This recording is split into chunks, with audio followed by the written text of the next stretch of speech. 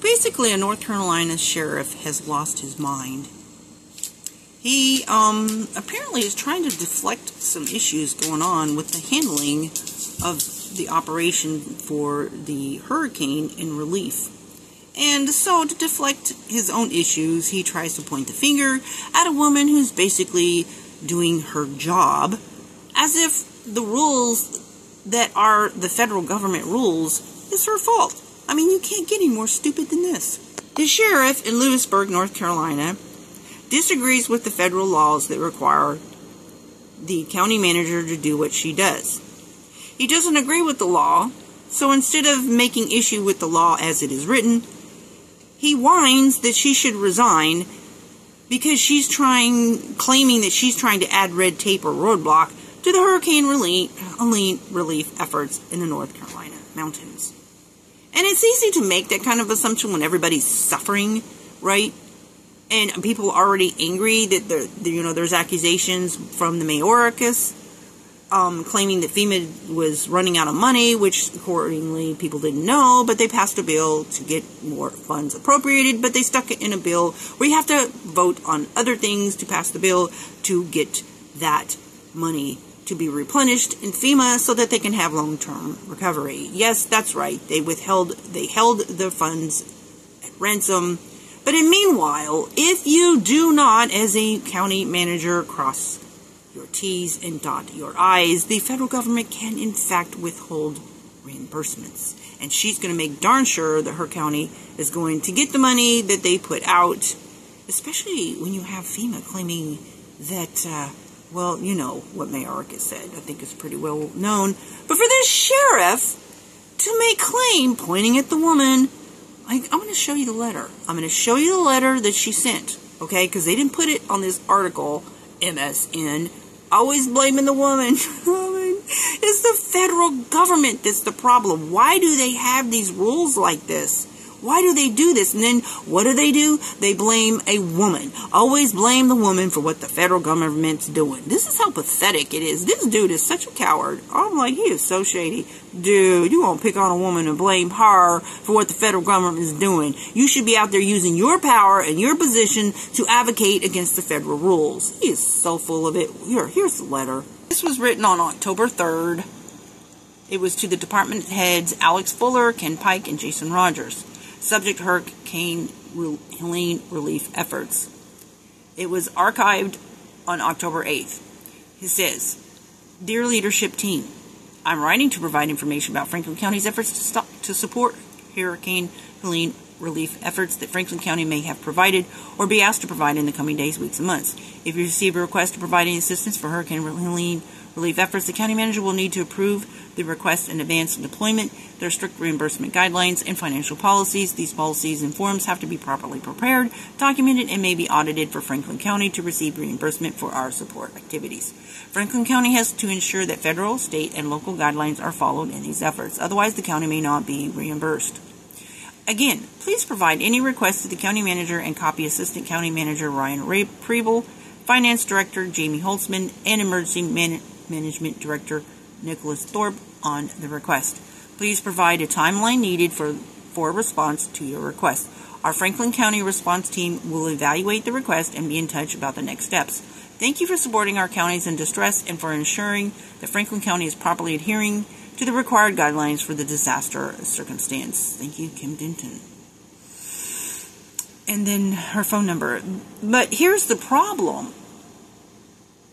Okay, you know there's a whole lot of people to be doing some shady stuff when, when it comes to relief. I'm a survivor of a disaster relief, and I saw firsthand people stealing from the victims. Literally. I literally saw it with my own eyes. Okay? And there's no problem to go with what the law is.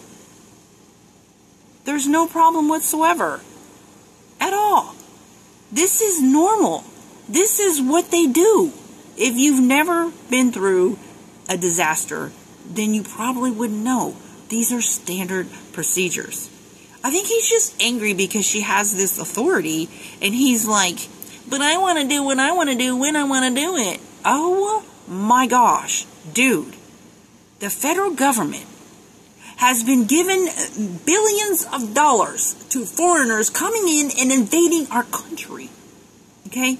Meanwhile, they've been withholding funds for ransom for bills to be passed, which they just recently replenished FEMA. Do you think that they would not hesitate to withhold from reimbursing counties or providing relief if you if they can find anything where you didn't dot your I's and cross your T's?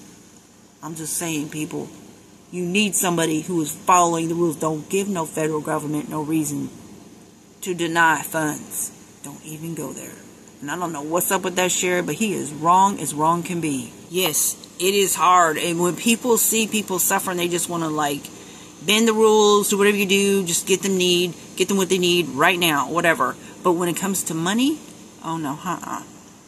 And so they're literally trying to make her the drop party. Like, you know what I'm saying? She's the patsy because the federal government sucks. They're, they're, they're so doing the things that they're doing. And he, you know what I'm saying? The way they put this picture of her smiling and him over there, you know, like help, he's the one helping people. And then, let me tell you something, okay? Did you see what the what a volunteer fireman did and the cops threatening to arrest a man who was flying in to help people? And I'm not saying it was this particular county, but I'm just saying, did you see what they did? These are the guys out there in the front.